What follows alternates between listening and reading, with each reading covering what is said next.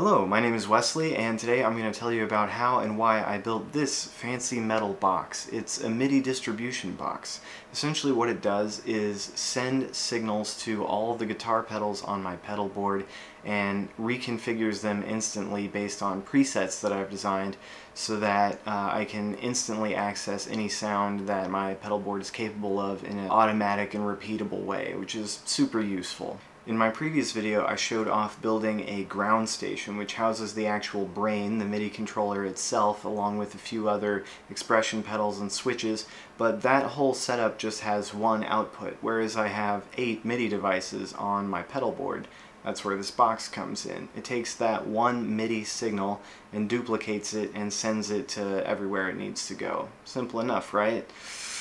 Well, actually, there are no less than four different MIDI connector standards represented just on my pedal board. Synthesizer manufacturers have been kind enough to just use the original 5-pin standard or a USB cable to transmit MIDI messages, but uh, for guitar pedal manufacturers, it's the freaking Wild West out there. Total bedlam. So there are probably even more connector standards than the ones that are re represented on my board, but I've got four that I need to accommodate with my homemade MIDI box build. I'm going to configure my splitter box for the pedals that I've got, but if you decide to build a project like this, you can configure it in whatever way you need to to accommodate the pedals that you've chosen for your sound. Number one, you've got the original 5-pin connector from all the way back in the early 1980s. These connectors are a little bit clunky, but at least they're designed in a way that avoids ground loops, and for a DIY project, you're always going to know what pin goes where, and I can't say the same about all the other items on this list. Number two, you've got the Boss 200 series pedals, which uses an 8th inch TRS connector. Essentially, that's going to look like a headphone connector cable. I'll be needing one of these. Number three, we've got Chase Bliss pedals, which use use a quarter inch TRS connector. I'll be needing three to four of those depending on where I land with the final configuration of my pedal board. Last but not least, we've got item number four on this list, Strymon, who have the specialist and fiddliest connection out of all of the manufacturers on this list. Side note, since Chase Bliss has this weird grounded standard, I think it's probably safe to say there's no optical isolation on that either, and I'm 50-50 on whether the Boss pedal has one, so ground loops could be a potential issue. Thankfully I haven't had too many issues with noise on this build since I have a high quality power supply and every pedal is on its own isolated input and all the connections are as short as possible, so Despite not all of these connections making use of MIDI's awesome optically isolated standard, we're still able to have pretty quiet connections, so I guess we're just to gloss right over all that stuff. Okay, okay, this info dump is almost over, but stick with me just a moment longer while I explain why you would make something like this yourself instead of just buying an off-the-shelf product.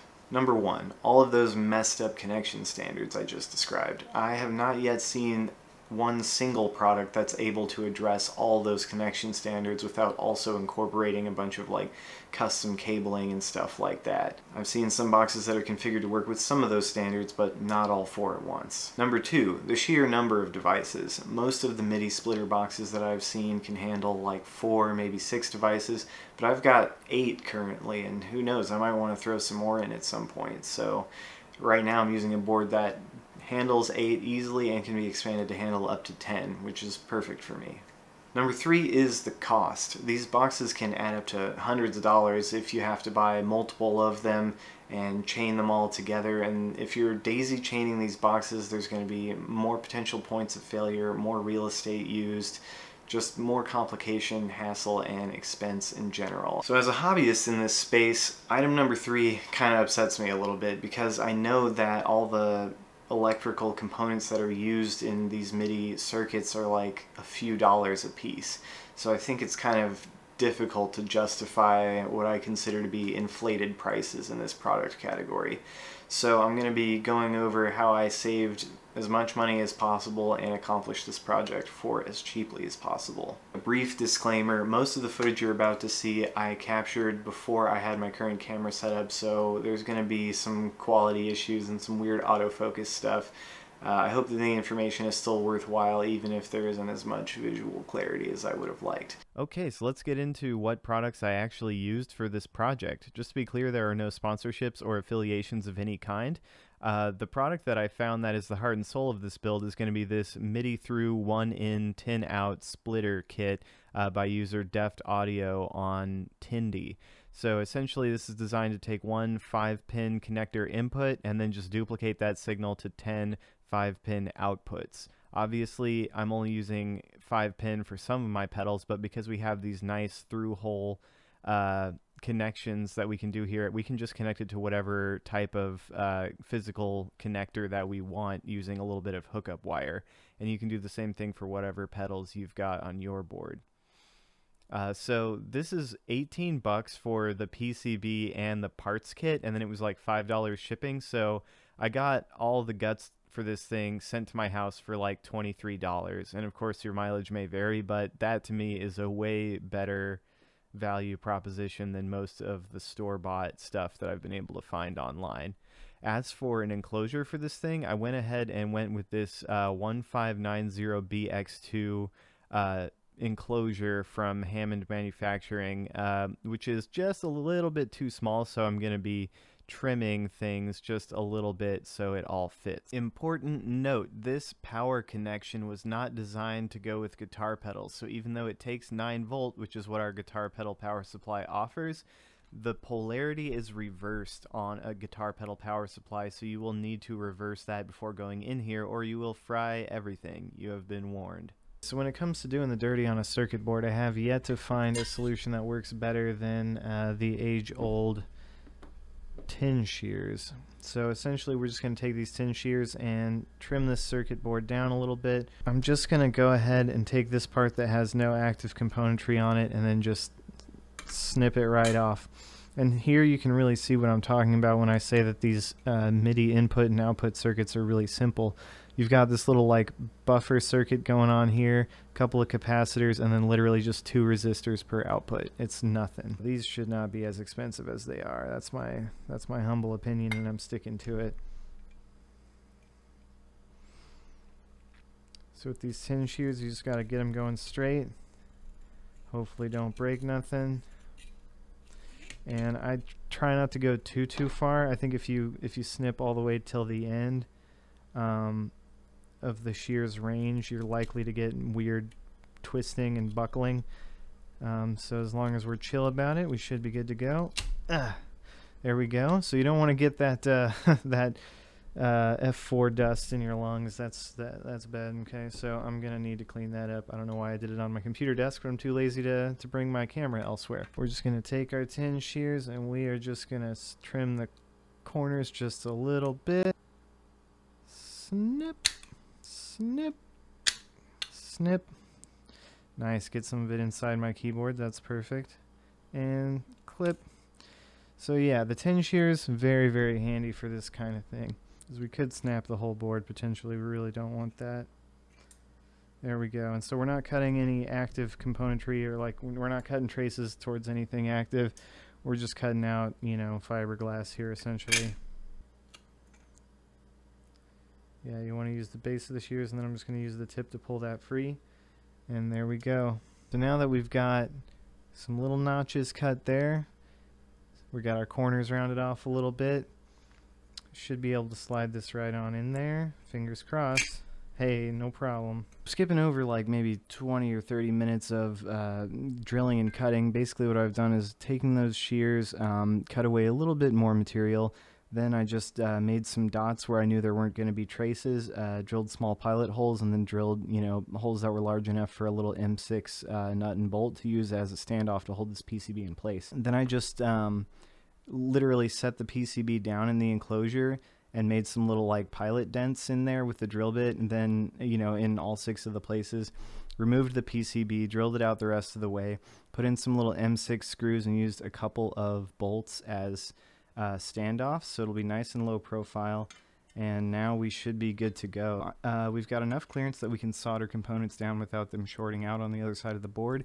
And um, by putting in our chunkiest sockets, the 5 pin and of course the TRS connector, it looks like we can put the lid on this thing without anything getting in the way. So I, I think we should be good to go. Okay, so with most of the soldering out of the way, you can now sort of see where I'm starting to go with this. So basically right now I've got a capacitor that we moved over to account for this MIDI input that we're going to move over to the back. Um, so that capacitor is just moved right over to there because with a multimeter I could see that uh, it could just inhabit the same space as that other little cap that lives there and then we just tilt the power regulator forward and everything looks good. This cap I should have tipped a little more because it does make contact with one of the posts but the outside layer of a cap is non-conductive, so it shouldn't make too much of a difference. For the time being, this is going to be more or less what the internal layout of this whole thing looks like. Oakley dokley, neighborinos. So it's been uh, a few hours of labor, but essentially what we got here is the um, metal enclosure itself with cutaways for the square MIDI plugs, um, and basically you accomplish that by just like cutting downwards, cutting downwards again, and then making a few thin strips and just snapping them off with a pair of pliers and then sand it down a little bit. And then we just drilled with like increasing drill sizes and then eventually a step bit uh, to get you know our eighth inch and quarter inch MIDI outputs. So we've got room for power. We've got mounting uh, standoffs for our little MIDI plug that's going to go in the back. And then of course you've got all the mounting holes for the PCB itself. So this thing should be basically ready to um, just bolt everything in and, and call it good. Um, one important thing that I noticed when uh, messing with this circuit board is that uh, the power plane or is this plane that's up here on the top uh, the copper is the internal 5 volt regulated power and on the bottom is ground. So by drilling my own standoff holes here and then using conductive nuts and bolts to affix them I was actually shorting the power and ground together. Thankfully I noticed this with the multimeter before powering it up but that's a good reason why you should always make sure that you're kind of probing with a multimeter to make sure everything looks copacetic before you actually apply power. I'm rectifying that by taking uh, a stepped drill bit to create a slight bezel there and then using a non-conductive nylon nut on the top so that the ground plane will be connected to the chassis but it won't um, you know, be connected to power, so that's a good thing. I realized that some of my best power connectors actually have like a metal barrel, and because guitar pedal power is really stupid and the barrel is positive, that also would have shorted power to ground, and and if I had isolated the ground, it would have just made the entire chassis as part of the like positive 9 volt power rail, which is just not what you want, so I have to use a cheaper plastic connector for the power, which makes me a little bit sad. Ultimately, the soldering on this was really fast. This took kind of a while, but this was like 20 minutes. Okay, so after getting everything seated in there, we're looking pretty good. Um, you can see we've got our MIDI input here on the back, which is going to be uh, accessible from the outside of our board, and then facing the inside of our board are all of our MIDI outputs. So we've got power right there. Um, we've got two 5 pins. We've got um, five quarter inch. We'll have one of them set for a Strymon pedal, and four of them set for Chase Bliss pedals, and then an eighth inch output for Boss. Um, so that's really sweet. If you look on the inside, I haven't yet wired everything up. Basically, I've just broken out all of the um, the MIDI output pins, and then I'm just going to look up MIDI implementation charts for all the different manufacturers and wire everything up. Um, before I install the chips, I'm just going to test out the power to make sure nothing like goes up in smoke and make sure you know power's going where it should. So that means I just double check this one more time and wire these in. Unless I mess something up, we should be uh, should be more or less ready to go here. The first and easiest connection to make is going to be the basic 5-pin connector, the classic OG one. So the circuit board is going to come with a bunch of these plastic connectors that you literally just set down in there the only way that they fit and solder them down. So it's going to be really easy. You don't need to map any specific solder pad to any specific place. It's just plug and play. Next up, let's talk about Chase Bliss. So Chase Bliss was kind enough to give us this nice, concise 59 minute description of how to connect stuff to their pedals. I'm going to see if I can't save you a little bit of time. So here we go. First of all, the thing that plugs into your Chase Bliss pedal and also plugs into the MIDI splitter board is going to be a quarter inch TRS cable like the one that is pictured here the thing that is mounted into the splitter box itself is going to look like this, a TRS socket. Um, so the ones I'm using look more like this. You might have one that looks like this. Either one will work fine as long as it's stereo or TRS. So the tip is not going to be connected to anything. Chase Bliss uses that for tap tempo, and we can accomplish tap tip tempo through MIDI, so I wouldn't worry about the tip unless you have some super specific use case in mind. Next up is going to be the ring right here. So what's connected to the ring? That's going to be pin 5 on this physical implementation diagram that we have here from SparkFun. So pins 1, 4, 2, and 3 aren't connected to anything. Literally only pin 5 is going to be connected here to the ring. And so you can take a look at this diagram, you can map that to the solder pad here, and then essentially pin 5 from the solder pad that you've got on your board is going to be connected to the ring, and then that's really all you need besides the sleeve, which is going to be connected to ground. Now you might see in this chart here that pin 2 is called the shield, but pin 2 on our Tindie splitter board is not grounded.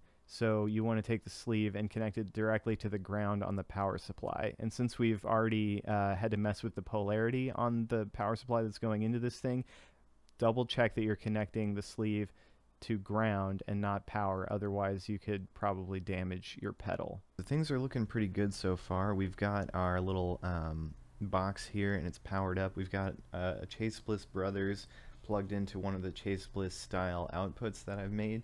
You can see I've got MIDI going to my computer here. So um, in Ableton Live, I'm just going to send MIDI program change 1. You can see there's actually a status light on the box that indicates when it's receiving notes, so it's just getting a little arpeggio, so that's kind of cool. And then on Brothers itself, I'm not sure how well you can see on the camera, but there's a red light. Um, basically, like I can toggle manually here to switch between presets uh, 0, 1, and 2. So 1 is green and 2 is red and 0 is blank. So if I send it MIDI program change 2, we can see it turns red. Again, not sure how well that's coming through. And then if I um, send it the other program change, so we're successfully sending program changes here, and if the program changes are successful, I'm going to go ahead and conclude that probably all the other MIDI information will come through fine. So Chase Bliss, check. Let's compare our home rolled solution for the Chase Bliss pedals to Chase Bliss's official product offering. So here is the MIDI box that they sell on their website. So it's $53 right now. Normally it's 60 bucks, and I think that already exceeds the total price of our entire build with 10 outputs. This has three outputs, and I have four Chase Bliss pedals on this board which means I would need to get a second one and daisy chain them together. So now that's almost 120 bucks just for the boxes. We need another MIDI cable to daisy chain them. We would also have to daisy chain power. And with our home rolled solution, there's no need to daisy chain power or MIDI data or anything like that. It's just all together in one box. And knowing what we know about how to build a MIDI splitter circuit, very little of this $60 price tag is going towards the electronics. Most of what you're paying for here is this like super nice powder coated box, probably really great hardware. Um, and I'm sure it costs Chase Bliss enough to manufacture this to justify that price tag. But as a consumer, I don't feel that I'm getting 60 bucks worth of value out of this when I can solder something up at home and use, you know, a $15 enclosure that I found on, you know, the Hammond website. And it might not be as pretty, but it's going to function in exactly the same way and I think be equally as robust, although only time will tell time to talk nuts and bolts about the MIDI connection for the Boss 200 series pedal. So as I mentioned before, it is an eighth inch TRS connector, which is the same as you would see in a headphone jack. So this is what uh, type of connector I'm going to be mounting directly into the MIDI splitter box and then this is the type of cable that plugs into it. You'll want to make sure it is TRS or a stereo and uh, an eighth inch connector. So I was having a difficult time figuring out which pin maps to what on here until I stumbled across this video from a YouTuber called the Man Bun Metalhead who does a very great job of explaining physically how this is all connected. So I'm going to link to his video because credit where credit is due and I hope it's not a problem that I'm ripping off this very helpful diagram that he created. Um, in this video, he makes a converter cable that takes this TRS connection and maps it over to a 5-pin connection on the other side. But what I'm going to do instead of making a custom cable is to just use a headphone connector, so TRS on both sides, and then make that conversion within the splitter box itself. So you can see he says the tip is going to be 5, the ring is 4, and the sleeve is 3. So the tip, uh, which is 5, is going to be our data line. And so you're just going to use your multimeter uh, to probe around on the connection that you've got and figure out which one is the tip and connect that to pin number five by, you know, mapping it over to our little SparkFun uh, diagram that we've got here. Make sure you take number four and map it over to the uh, ring. And then for the sleeve, Man Bun Metalhead here says that the sleeve should be connected to pin 3. I'm guessing he's pulling that from some kind of boss documentation, but according to the official MIDI standard at least, pin 3 is a no connection pin. So I found this a little ambiguous and I ended up deciding to ground my pin 3 and my connection works fine. But if you find yourself dealing with some kind of ground loop issue, you can disconnect that sleeve and just leave it completely floating and that might help with your issues. But I can confirm that grounding it was fine. Let's take a moment to compare our home rolled solution to the available store-bought offerings. So this is an official Boss product here. Uh, it's $22 for the cable to convert it from the headphone style connector to the 5 pin MIDI connector. I think that's too much for what it is. The only available lengths are 5 foot and 3 foot. And if I'm connecting from one place on my pedal board to another place on my pedal board, a meter is way longer than what I need. I'm going to have to coil up all the excess using zip ties or try to do some kind of manual splice to reduce the length, and I don't want to do that. I think this product offering only makes sense if you're using those 200 series pedals as a desktop unit rather than putting it on your pedal board, and it seems like they're intended for pedal board use. So this just seems like a gap in the market, and I prefer my home rolled solution. I think it's cheaper, it's more compact, and it's going to be every bit as reliable. So I'm going to take a pass on this store-bought offering. If you thought the other guitar pedal manufacturers were all over the place with their MIDI connections, wait until we get to the absolute fustercluck that is Strymon. So Strymon uses a quarter inch TRS connector, kind of like Chase Bliss, but electrically they are way different than Chase Bliss. So I was having a hard time figuring this out. I came across this thread in DIYstompboxes.com where one user emailed Strymon customer support and received this as a reply, and they were kind enough to put it on Imgur, so I'll include links to that. So this is a torn out piece of paper with handwritten notes that explains the circuit you have to build in between the splitter board and the Strymon pedal itself. And I'm just going to be incorporating that into the box. So you've got the solder pads are going to be right here and they're going to need to map to what you see here on this schematic and then this node on the schematic goes to the tip this node on the schematic goes to the sleeve which is going to be connected to ground and then you leave uh, the ring totally floating. So I'm grateful that I had all this stuff laying around already because it's essentially a standard MIDI input circuit, and I've worked on some projects that use that, so I already had these parts. But if you don't, you're definitely going to want to order these if you have any Strymon pedals. Uh, this is a couple of bucks worth of stuff.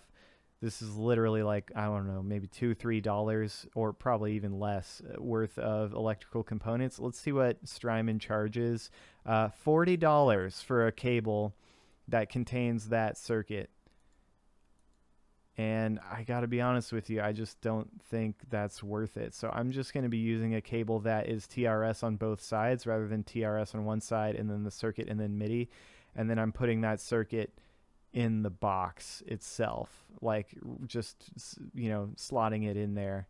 I have not fully priced out the DIY solution, but since I already had a few supplies on hand, I think it was about $60 total for the DIY solution, which is going to have 10 outputs and connect to everything all from one box with no daisy chaining. So if we're going to compare that to a fully store-bought solution, I think we would start out with one of these ubiquitous one in, four out MIDI boxes. So that's about $60 we would daisy chain that into one of these MIDI boxes, which is another $60, and that would have to daisy chain again. So that's another 60 bucks. So now we're already at about $180. Then we would need one of these $40 Strymon cables, which is going to be uh, 220 and then we're gonna have to spend another 20-ish on the boss custom cable so that's gonna drive our price up to about 240 to get everything all daisy chained into each other so our total number of outputs from this solution would also be 10 but keep in mind that two of those unused outputs at least in my case would be locked in as chase bliss standard whereas with my custom solution uh, I haven't soldered anything to those pads yet, and if I decide to expand, I can make them be whatever I want. They're not locked into Chase Bliss's standard. One thing that's important to keep in mind is that this schematic for Strymon calls for 5 volts right here.